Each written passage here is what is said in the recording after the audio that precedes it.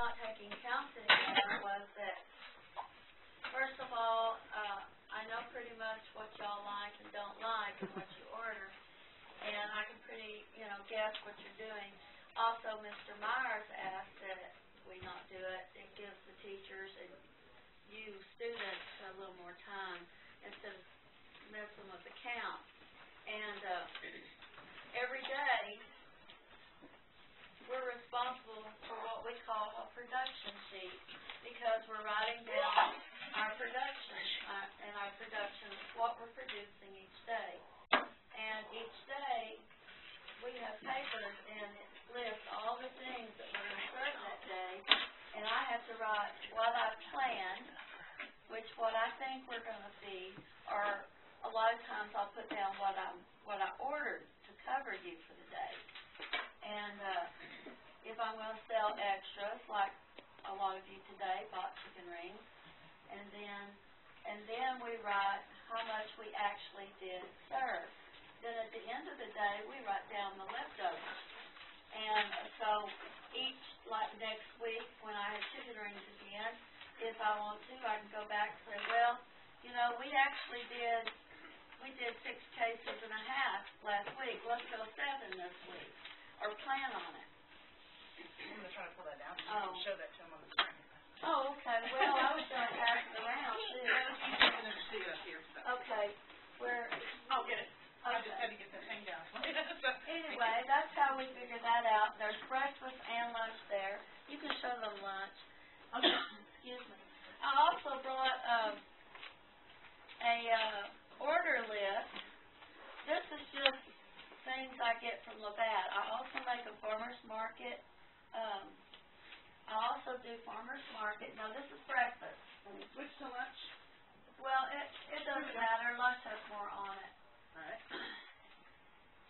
This also is what I order from Labatt, and this is what I get most of these. I also, I also have a farmer's market, and I also have a bread order.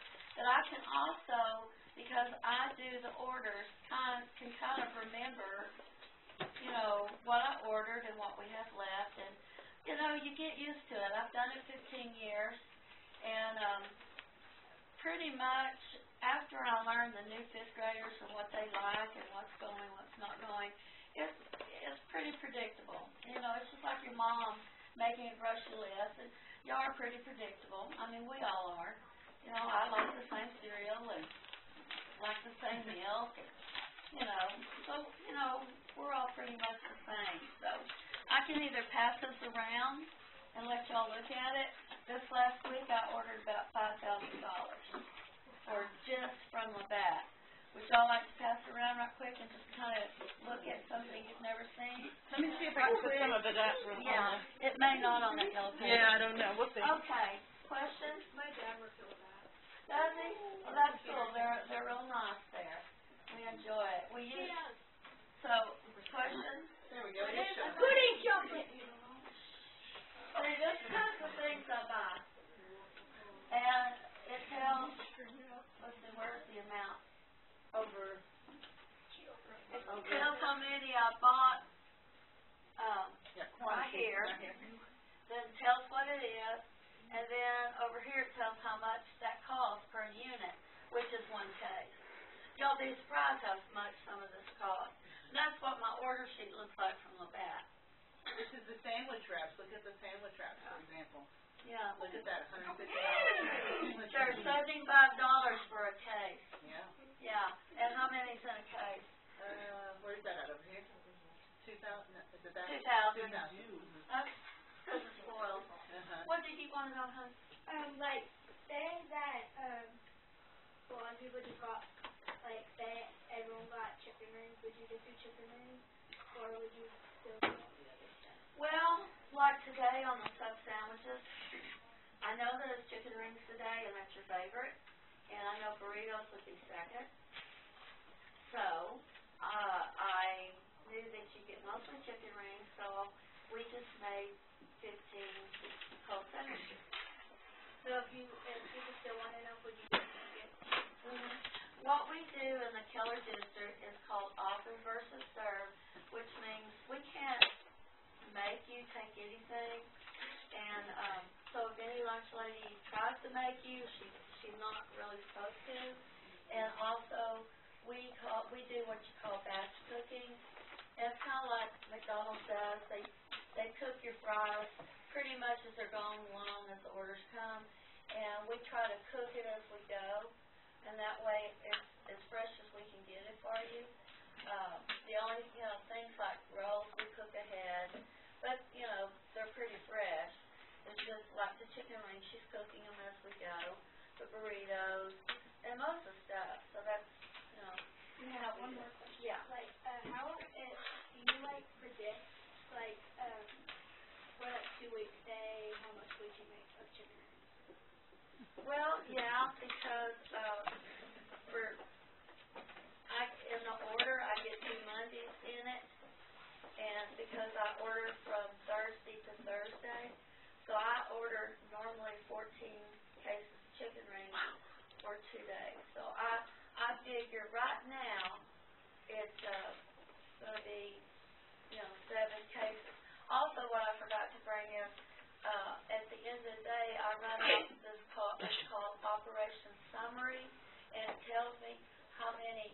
children I fed, how many teachers I fed, um, or adults, and a la carte, how many breakfasts, uh, and it breaks you all down, uh, completely, and it tells me, you know, how mu- how many people I served, and on the next page, on the back, it tells me how many a la carte I sold.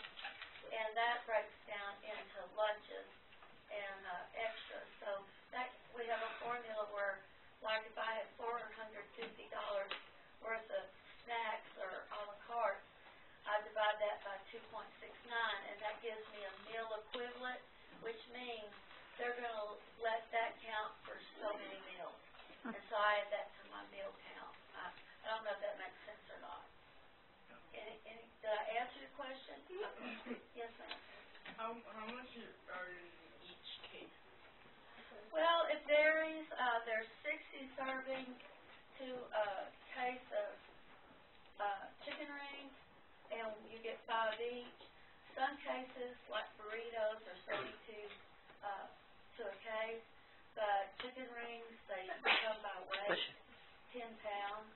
Uh, your hamburger meat is from the government, actually, and it comes two hundred to a case. You know, I pretty much know all that, like I know there's eighty hot dogs to a case, stuff like that. So you have to memorize that, in Well, I've words, done it. Yeah. You remember it. Yeah. Any more questions? No? Yes? Do you have every single person, um, on your list? I have it in the computer, under, under mealtime, I have every one of you. So like even if somebody bought their lunch like the entire year, didn't buy lunch one time, I, got I can look and see. She can make a report that generates that information. Yeah, I can see that. Your parents can come in and see that. Do you And ever, can see that. With twelve, since we have our twelve thirty lunch, does it ever come up a situation where you run out of food of any particular thing? Do, so, I see that most of what you do is kind of based on prediction, and so if, if we, at twelve thirty, something happens, how do you problem solve for that situation? Well, first of all, we hate for that to happen, and, uh, as much as y'all do, if not more, and what we do, say I ran out of chicken rings. Okay, I've got some popcorn chicken in there, and I know you'll like that, so I'll try to get the popcorn chicken. If I don't have popcorn chicken, I'll look for something that is a meat A uh, substitute. A, a mhm. meat substitute that will, you know, has to be meat, meat, milk, milk, you know. Uh, so I'm, I usually try to get something you like better, so it won't be so bad when Right. we don't have it. And we just start hustling and we get it out. Would you say though, in general, that the, that y'all, generally speaking, you get pretty close on your Yeah, we estimates? very good, yes, we do Okay. very good. In fact, on that production sheet, well, it has it like, uh, well, that last week, you can look on leftovers, if you pull it and look on the end column, the leftovers, you can see how close we got, Oh, really? uh, Okay. on the production sheet. So that way you know for next week to kind of, Yeah, oh, we were how weak much here, we had. need to go ahead and bump it up for next week. Gotcha. Okay. Like this morning on breakfast on the French toast sticks, they don't go very good. so we backed it up to twenty. Well, we ran out, so next week I'll fix twenty-five again, Okay. or twenty-four. Yes, ma'am. Why do we have chicken rings instead something else uh, that's chicken? Why rings? Good question. Good question. But in general, pro, district-wide, everybody wants chicken rings. Why rings? Why instead of rings? You need to ask your fellow, you need to ask your fellow classmates. Who have been big, Because big supporters of chicken rings. Our sales are up very, very high. That was what I was gonna say. What was, what would you consider to be your number one seller on lunch? Pizza and chicken rings, Okay. I like dipping the like pizza fries. You know. Yes, sir. Uh, what happens if you went completely out of water and milk? Well, if we ran out of milk, I'd have, uh, there's lots of times I've had to go to other schools during our break Uh-huh. to get more food. More hot dog buns, more hamburger buns, more meat, more bread, more milk, but I cannot run out of milk. And I have to have two kinds of milk. That's the chocolate and milk, uh, chocolate and, um, white. If I ran out of white and I have powdered milk, I don't want to, but if no one else has milk for me to go get, I would have to mix up powdered milk for you, which is not very pleasing, but, you know, I would be offering. Cause I report to TEA, uh, which is a state thing too, and a lot of times when we do things y'all don't understand, it's because that's what the state tells us to, or the health department. Mhm. Yes, sir? Um, I had a question. I know that like in the beginning of the year, there's usually not a lot of like those extra snack days or different drinks. And I was wondering uh, if there's uh, uh, why the reason would be that it's slower this year as far as it being the second nine weeks. What's slower, the line or? Uh, well, the getting more and different like The variety of snacks, is that what you're asking? Well, I'm limited by what they tell me to get. And what you see is pretty much all that I can buy. I don't wanna buy something that I'm afraid will be sitting on my shelf and I'll end up throwing it away, like peanut butter crackers. I can order those, but I'm not sure that those would go well. So I try to order the chips that y'all will like and that you buy, you know, and we stopped selling Cocoa Crisp because they said there's too much fat in the Cocoa Krispies. Mhm. And what it is, is that, uh, the ingredients that you have in the chocolate covering that raise the fat, so I've been told not to sell anymore. So that's why that's gone. We are getting ice cream machine, uh, it's come, it's come pretty quick, we asked for it only two years ago. So we're getting that, we'll have some ice cream, I'm, I'm being sarcastic. We'll have some ice cream, but we're pretty limited in what the state says is allowed, and it goes by fat and carbohydrates and Sugar you know, content. sugar, all that. Did I answer your question? um yeah. And what about the drinks? Like We're only allowed to serve water. Yeah, what happens to the sardines?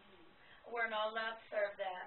And, uh, as far as juice, y'all, I cannot serve you more than six ounces of juice per meal, uh, at your age group. Cause We the have sugar lots content. of rules. Mhm. We have lots of rules. So, who has not asked a question that wants to ask one? Okay, you were wanting to ask again? What did you want to know? Um, so why were you allowed to serve sardines last year? Because we could. We could, and then as the year went, they, you know, new laws are coming in from the state, and we had to cut that out. Okay, yes, ma'am.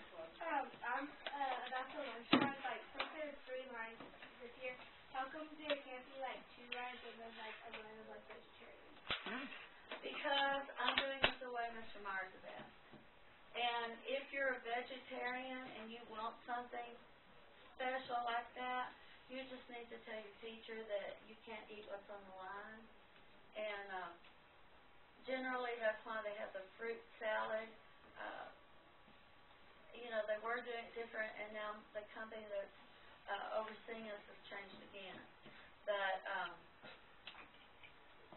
we have to have, uh, meat or meat alternate, uh, fruit or, uh, vegetable or fruit, a dairy product, a bread, uh, and when you get lunch, you have to have at least three components to call it a lunch.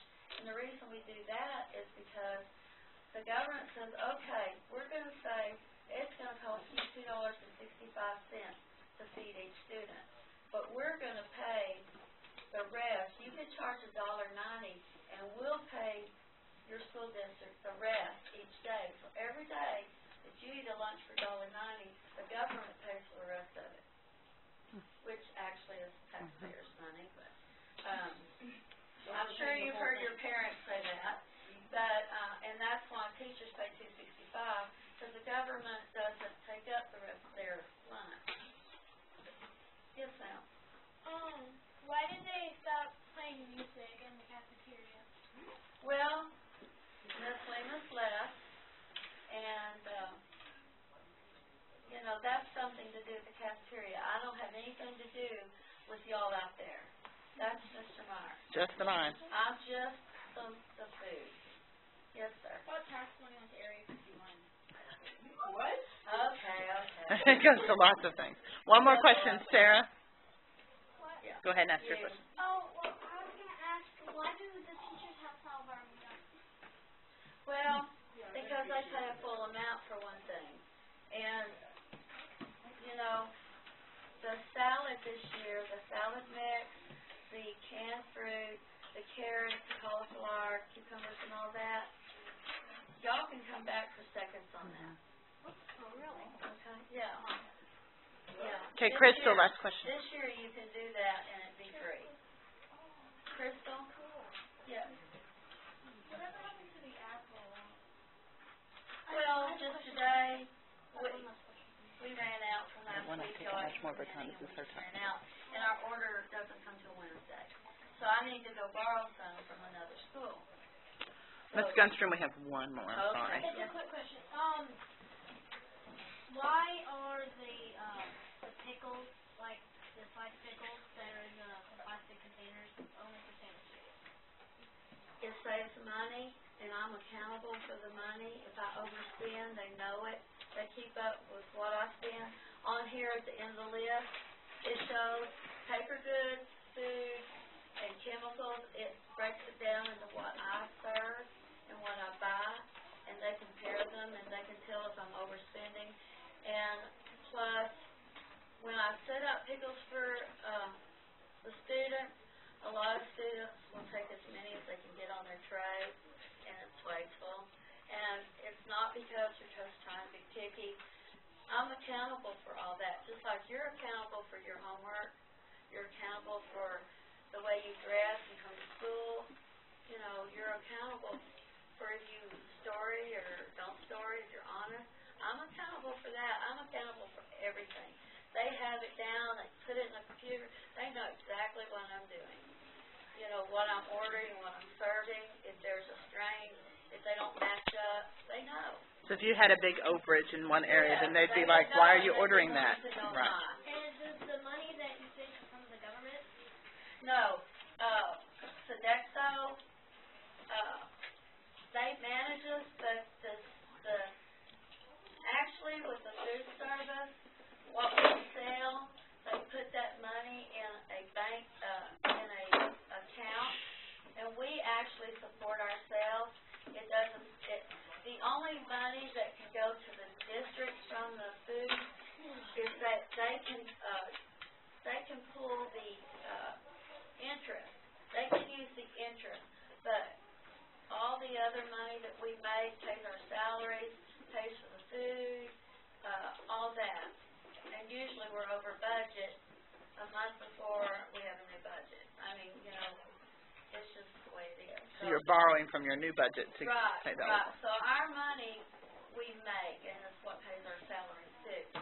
So, you know, if all of us managers, oh, just take all the pickles you want, yeah, take three apples, sure. Well, that's less money in the account for the district, less for, uh, groceries and stuff, and then they have to raise how much the, uh, lunch is every day. Okay. So, it's just being a good steward of the money. All right, So is that it?